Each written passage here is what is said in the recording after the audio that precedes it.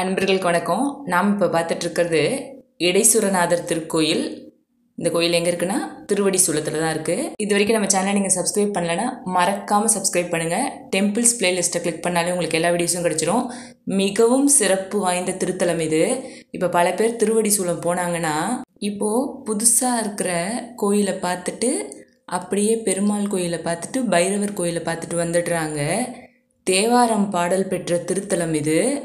தேவாரம் பாடல் பெற்ற தொண்டை நாட்டு திருத்தலங்கள் இது இருபத்தி ஏழாவது தலம். மிகவும் அற்புதமான தலம். எவ்வளோ அழகான கோயில். பார்த்து பார்த்து கட்டியிருக்காங்க இந்த கோயிலை. இந்த கோயிலோட பிரகாரத்தில் வில்வம் வேம்பு ஆலமரம் போன்ற மூன்று மரங்களும் இணைந்திருக்கு. சிவன் அம்பாள் விநாயகர் ஆகிய மூவரும் இம்மரத்தின் வடிவில் அருள்பாலிக்கின்றனர் என்பதனால் இங்கு வேண்டிக் கொண்டால் பிரிந்திருக்கும் குடும்பங்கள் இணையும் ஒற்றுமை கூடும். இந்த கோயிலுக்குள்ளே கால் எடுத்து வச்சோடனே நமக்கு ஒரு மாதிரி மனசுக்கு சந்தோஷமாக இருக்குது இந்த கோயிலில் இருக்க அம்பாலை பார்த்தோன்னா பார்த்துக்கிட்டே இருக்கலாம் போல இருக்குது அவ்வளோ அழகாக இருக்காங்க. சிவபெருமானையும் அம்பாலையும் பார்த்தா நமக்கு பார்த்துக்கிட்டே இருக்கலாம் போல இருக்குது கண்ணை இப்படி எப்படி எடுக்கவே முடியல. முகம் பொலிவு பெறும் என்பது நம்பிக்கை. திருமண தடை புத்திரதோஷம் உள்ளவர்கள் இத்தல விஷயத்திற்கு வஸ்திரம் மஞ்சள் கயிறு கட்டி வழிபடுகிறார்கள். இங்கே திருவடி சூழம்னாலே எல்லாரும் வந்து அந்த புதுசாக வந்திருக்க திருவடி சூலம் அம்மன் கோயிலையும் பெருமாள் கோயிலையும் பக்கத்தில் இருக்க பைரவர் கோயிலை தான் பார்த்துட்டு போகிறாங்க எவ்வளோ அழகான திருத்தலம் இது. எவ்வளோ பழைய நாள் கோயில். இந்த கோயிலை பார்க்கணும். இந்த கோயிலை பற்றி நிறைய பேருக்கு தெரியவே இல்லை. நான் தலை பெருமை சொல்கிறேன் பல்லாண்டுக்கு முன்பு வில்வனமாக இருந்த இப்பகுதிக்கு மேய்ச்சலுக்கு வந்த பசு ஒன்று மட்டும் சரிவர பால் தரவில்லை. சந்தேகப்பட்ட இடையன் அப்பசுவை கண்காணித்து பொழுது ஒரு புதருக்குள் சென்று பால் சொருவதை கண்டார். இவ்விஷயத்தை அவர் ஊர் மக்களிடம் சொல்ல அவர்கள் புதரை விலக்கி பார்த்தபொழுது சிவபெருமான் சுயம்பு மரகத லிங்கமாக இருந்ததை கண்டனர். பின் இந்த இடத்திலேயே கோயில் கட்டி சுவாமியை வழிபடத் தொடங்கினர். அம்பிகையே பசு வடிவில் ஞானம் தரும் பாலை அபிஷேகித்து பூஜை செய்த சிவன் என்பதால் இவரை ஞானபுரீஸ்வரர் என்றும் அம்பாளை கோவர்தனாம்பிகை. கோவென்றால் பசு. கோவர்தனாம்பிகை என்று இங்கு அருள் பாலிக்கின்றனர் இவரிடம் வேண்டிக் கொண்டால் கல்வி ஞானம் பெறலாம்.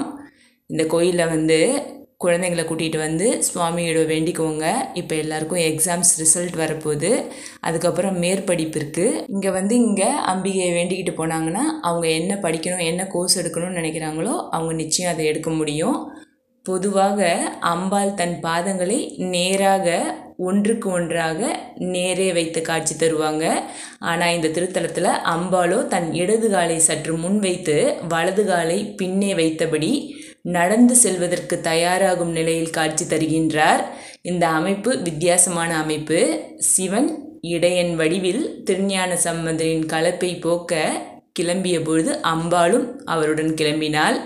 அவரோ அம்பாளை தன்னுடன் அழைத்து செல்ல மறுத்துவிட்டார். அம்பாள் சினத்துடன் காரணம் கேட்டார்.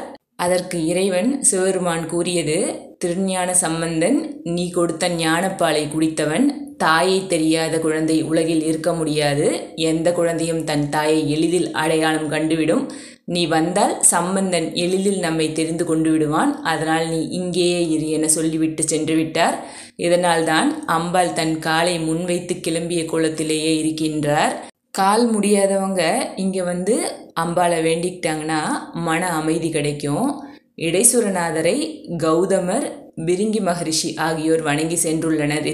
இத்திருத்தலத்திற்கு வந்து மூலவர் மரகத லிங்கமாக கிழக்கு திசையை நோக்கி பளப்பளப்புடன் இருக்கிறார். பிரதான வாயில் தெற்கு பக்கம் இருக்கிறது.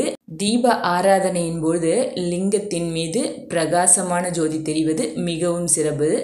ஜோதி ரூபமான சுவாமியை தரிசித்தால் தீய குணங்கள் மறையும் வாழ்க்கை பிரகாசமடையும் என்பது நம்பிக்கை. சேக்கிரார் தனது பெரிய புராணத்தில் சுவாமியை அழகுமிக்கவர் என பாடியுள்ளார். இத்திருத்தலத்து ஞானபுரீஸ்வரரை பற்றி பாடியுள்ளார். இத்தலத்து தட்சிணாமூர்த்தியின் காலுக்கு கீழே இருக்கும் முயலகன் இடது பக்கம் திரும்பி படுத்த கோலத்தில் வித்தியாசமாக இருக்கின்றார். தட்சிணாமூர்த்தியை அவரது சீடர் சனத்குமாரர் இங்கு வழிபட்டுள்ளார். நான் சொன்னேன்ல இங்கே இறைவனை பார்த்தா நமக்கு ஈர்க்கிற மாதிரி இருக்குது பார்த்தா பார்த்துக்கிட்டே இருக்கணும் போல இருக்குன்னு சொன்னேன்லங்க. நாங்கள் தீபாதனை காட்டும்போது எனக்கு அப்படி தான் ஃபீல் ஆச்சு. இந்த கோயிலை நீங்கள் பார்க்காதவங்களா இருந்தால் கண்டிப்பாக வந்து பாருங்கள் ரொம்ப அழகான கோயில். ரொம்ப சுற்றி ஒரே மரச்செடி கொடிகளோட ரொம்ப நந்தவனமாக இருக்குது பார்க்குறதுக்கு அழகாக இருக்குது இந்த கோயில். ரொம்ப பழைய நாள் கோயிலாக இருந்தால் நம்மளால் அந்த காலகட்டத்தையே உணர முடியும். எனக்கு ரொம்ப பிடிக்கும் ரொம்ப பழைய நாள் கோயில். ஏன்னா அது வந்து ஒரு மாதிரி மனசுக்கு ரொம்ப நல்லா இருக்கும். ரொம்ப ஃபீல் ஆகும். அந்த மாதிரி கோயில் தான் இந்த கோயில். எனக்கு ரொம்ப பிடிச்சிருந்துச்சி இந்த கோயில். நான் இங்கே இருக்கிற அந்த அம்மன் கோயில் பெருமாள் கோயில் பைரவர் கோயில் எல்லா கோயிலுக்கும் போயிட்டு வந்தேன். எல்லா கோயிலுமே எனக்கு பிடிச்சிருந்தது. ஆனால் இந்த கோயில் எனக்கு ரொம்ப ரொம்ப பிடிச்சிருந்தது. ரொம்ப நல்லா இருந்துச்சு இந்த கோயில். இந்த கோயிலுக்கு அவ்வளோ வருமானம் இருக்கா இல்லையான்னு எனக்கு தெரியல. ஏன்னா ரொம்ப உள்ளே இருக்கிறதுனால எவ்வளோ பேர் இந்த கோயிலுக்கு வந்துட்டு போனாங்கன்னு எனக்கு தெரியல. ஆனால் இங்கே வந்து சுவாமியையும் அம்பாளையும் பார்த்தோன்னா மனசுக்கு அவ்வளோ நல்லா இருக்குது ரொம்ப பாசிட்டிவ் வைப்பாக இருந்துச்சு. எனக்கு ரொம்ப திருப்தியாக இருந்தது. அதனால தான் நான் உங்களையும் போயிட்டு வர சொல்கிறேன் தலை வரலாறு சொல்கிறேன் நால்வரில் ஒருவரான திருஞான சம்பந்தர் சிவதல யாத்திரையின் பொழுது இவ்வழியாக சென்று கொண்டிருந்தார். நீண்ட தூரம் நடந்து வந்ததால் பசி வயிற்றை கிள்ளியது அவருக்கு. சூரியன் உச்சிவானத்தில் ஏற ஏற வெயிலும் கூடியது. களைப்படைந்த சம்பந்தர் ஓய்வெடுக்க ஒரு மரத்தின் அடியில் அமர்ந்தார். அப்பொழுது அங்கு கையில் சிறிய தடியுடன் கோவணம் கட்டியபடி மாடு மேய்க்கும் இடையன் ஒருவன் வந்தான். கையில் தயிர் களையும் வைத்திருந்தான் அவன். சம்பந்தர் பசியோடு இருந்ததை அறிந்து தயிரை பருக கொடுத்தான். களைப்பு நீங்கிய சம்பந்தரிடம் நீங்கள் யார்? என்று கேட்டான் இடையன்.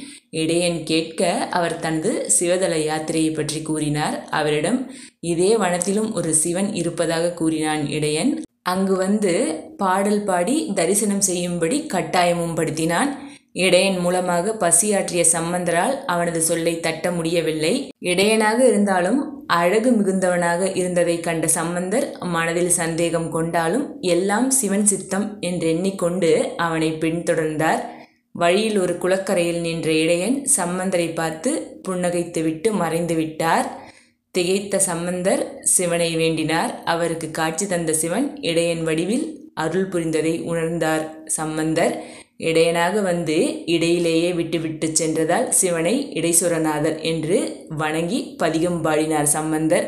ரொம்ப அழகான கோயில். சிவனை பார்த்தா பார்த்துக்கிட்டே இருக்கலாம். அம்பாவை பார்த்தா கண் எடுக்கவே முடியல. அவ்வளோ அழகாக இருக்காங்க ரெண்டு பேரும். எல்லா சந்நிதியுமே அழகாக இருக்குது ரொம்ப சின்ன சின்னதாக எங்கெங்கே கரெக்டாக எந்தெந்த இடத்துல இருக்கணுமோ அப்படி இருக்குது ரொம்ப அருமையாக இருக்குது இந்த கோயில். ஒரு மாதிரி பாசிட்டிவ் வைப் இருக்குது மனசில் எந்த கவலை இருந்து இந்த கோயிலுக்கு நீங்கள் வந்தாலும் நிச்சயம் அந்த கவலை நம்மளை விட்டு போயிடும். எனக்கும் தெரியாது இப்படி ஒரு கோயில் திருவடி சூலத்தில் இருக்குன்ட்டு. போயிட்டு வந்தவங்க சொன்னாங்க சரி நம்மளும் போயிட்டு வரலாமேன்னு போய் பார்த்தேன். ஆனால் ரொம்ப சந்தோஷம். மனசுக்கு ரொம்ப நிம்மதி. போனதில் எனக்கு அவ்வளோ சந்தோஷம் திருப்தி. உங்களுக்கு நேரம் கிடைச்சா கண்டிப்பாக இந்த கோயிலை நீங்கள் மறக்காமல் விசிட் பண்ணுங்கங்க. இறைவன் இங்கே மரகத மேனியுடன் சுயம்பு மூர்த்தியாக அருள்பாலிக்கின்றார். இடைசுரநாதர் என்ற பெயரும் பெற்றார். நீங்கள் சென்னையில் இருக்கவங்களா இருந்தால் திருவடி சூளம் போகிறீங்கன்னா கண்டிப்பாக இந்த சிவன் கோயிலை நீங்கள் மிஸ் பண்ணவே பண்ணாங்க. இது தேவாரம் பாடல் பெற்ற திருத்தலம். ரொம்ப அழகான திருத்தலம் இது. ரொம்ப திருப்தியாக இருக்கும். மனசுக்கு ரொம்ப சந்தோஷமாக இருக்கும். பிற உயிர்களையும் தம் உயிர் போல் நேசிப்போம். அனைவரிடத்திலும் அன்போடு இருப்போம். பெரியோர்களை மதிப்போம். நம்மால் முடிந்த உதவிகளை நாள்தோறும் செய்து வருவோம். பொண்ணோ பொருளோ கொடுத்து உதவுறது மட்டும் உதவி இல்லைங்க. பாதிக்கப்பட்டவங்க கிட்ட அன்பாக ஆறுதலாக நாலு வார்த்தை பேசுறது கூட ஒரு உதவி தான் அதை நம்ம நிச்சயம் செய்யணும். வெயில் காலம் ஸ்டார்ட் ஆகிட்டு ரொம்ப கடுமையாக இருக்குது வெயில். வீட்டுக்கு வெளியில் போகிறவங்களா இருந்தீங்கன்னா நிச்சயம் கொடையும் தண்ணீரும் மறக்காமல் எடுத்துகிட்டு போங்க. அதே போல் நம்ம வீட்டு வாசலில் ஒரு பாத்திரத்தில் தண்ணி வச்சிங்கன்னா பறவைங்களும் விலங்குகளும் அதை குடிப்பாங்க. இது நம்மளால் செய்ய முடிஞ்ச ஒரு சின்ன விஷயம்தான். நம்ம மறுக்காமல் நிச்சயம் செய்யணும். எல்லாம் நன்மைக்கே நம்பிக்கையோடு செயல்படுவோம். நன்றி வணக்கம்.